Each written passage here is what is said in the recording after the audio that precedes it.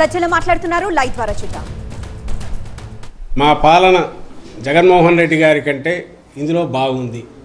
మాకు ఓట్లు వేయండి అని ఒక్కరోజన్నా అడుగుతున్నారా? నోరు తెరిస్తే తిట్లు బూతులు తప్ప.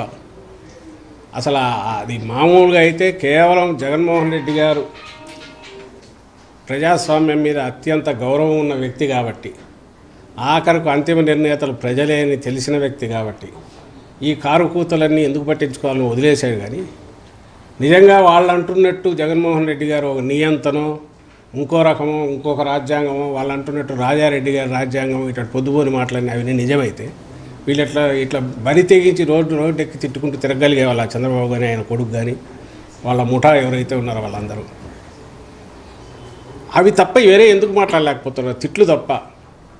ఎక్కడైనా సహేతుక సహేతుకమైనవి కానీ లేదా ఒక ప్రాతిపదిక మీద కానీ వాళ్ళు ఏదైనా ఆరోపణలు కానీ విమర్శలు కానీ చేస్తున్నారా?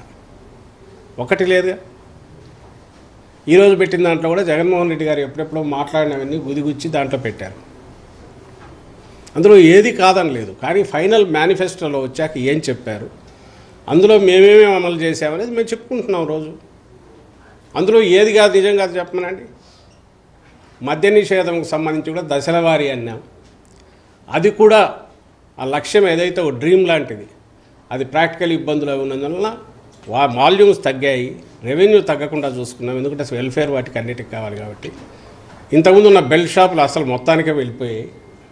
ఉన్న దుకాణాలు షాపులు కూడా సగానికి సగం తగ్గిపోయాయి. ప్రభుత్వమే తీసుకోవడం ద్వారా రెవెన్యూకి ఎక్కడా గండి పడకుండా ఈరోజు ఒకప్పుడు పదహారు వేల కోట్లు ఉండేది ఈరోజు ఇరవై ఐదు వేల కోట్లు పెరిగిందంటే. ఇంకో పక్క వాల్యూమ్స్ తగ్గి అంటే కన్జంప్షన్ తగ్గి. అది ఎట్ట సాధ్యమైందంటే వాటెవర్ రావాల్సింది గవర్నమెంట్కి వస్తుంది. ఇంతకుముందు సిండికేటర్ రూపంలో అడ్డంగా ఈ ఆదాయం అంతా వాళ్ళు దోచుకుంటున్నారని దాన్ని బట్టి అర్థమవుతుంది. ఇది ఇంతగా ఎలాబరేట్ చేసి ఎందుకు చెప్తున్నామంటే అదొక్కటే అనుకున్న పద్ధతిలో అనుకున్నంతగా చేయలేకపోయాం కాబట్టి మాకు మేము తగ్గించుకున్నాం మార్కులు తగ్గించుకొని వేసాం నైంటీ నైన్ పర్సెంట్ ఈరోజు మేనిఫెస్టో పూర్తి చేసామని సగర్వంగా ఎందుకు చెప్పగలుగుతున్నామంటే మిగిలినవన్నీ ఏది కాలేదో చెప్తున్నానండి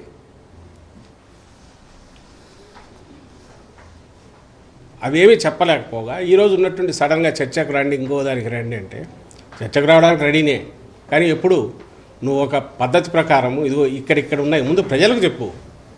పద్నాలుగు పంతొమ్మిది మధ్య నేను ఇవి చేశాను. ఇవి జగన్మోహన్ రెడ్డి గారు తీసేశాడు. లేదా ఈయన చేసినవి ఇది బాగాలేదు నేను వీటిని తీసేసి ఇది పెడతాను లేకపోతే వీటికంటే మెరుగ్గా పెడతాను. చెప్పు. అట్లా వదిలేసి నీకు నువ్వే నీ ఈనాడు నీ ఆంధ్రజ్యోతిలో రోజుకు నాలుగు బ్యానర్ హెడ్డింగ్లు రాసుకొని నీ అంతటి నువ్వు అరాచక పాలనని.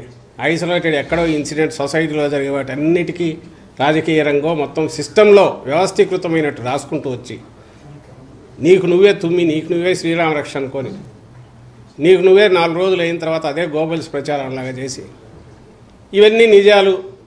కాబట్టి వీటి మీద చర్చకు రా అంటే నువ్వు పగటి కళలు కానీ నువ్వు అధికారంలోకి వస్తున్నావు అనుకో నువ్వు రాత్రిపూట కళలు కానీ అవన్నీ కూడా నిజం అనుకోని వాటి మీద చర్చకు రమ్మంటే ఎందుకు రావాలి ఏమో ఎందుకు వస్తాం ఏం మాట్లాడతాం?